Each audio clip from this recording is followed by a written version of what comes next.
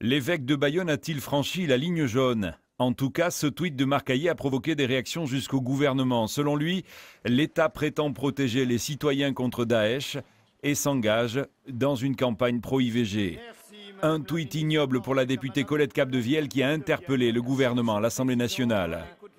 L'évêque de Bayonne, Monseigneur Hayé, a osé comparer l'interruption volontaire de grossesse et les dernières mesures de notre gouvernement au crime odieux de Daesh. La réponse de la ministre ne s'est pas fait attendre.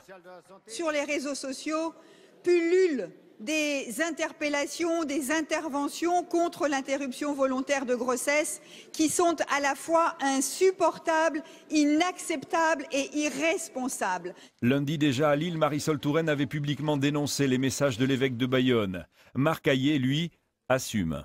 Il faut attirer l'attention. Ce qui m'étonne et ce qui me surprend, c'est qu'en effet, c'est créé une telle réaction de panique, on peut dire, et de fureur, en particulier chez Mme Marisol Touraine, elle qui en effet a engagé le gouvernement récemment dans une grande campagne euh, pro-IVG, à grand renfort de moyens euh, médiatiques et législatifs, aux frais du contribuable, comme vous le savez. Ça prouve bien qu'il y a un effet de panique et que la mentalité IVG est en train de perdre du terrain. L'évêque de Bayonne se défend de faire de la politique, mais il est un récidiviste sur Twitter.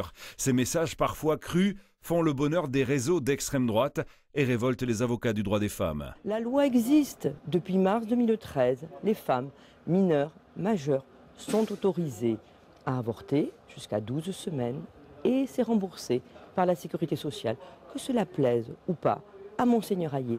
La polémique n'est certainement pas close. L'évêque utilise toutes les tribunes pour exposer ses idées et bien sûr cette occasion en est une de plus.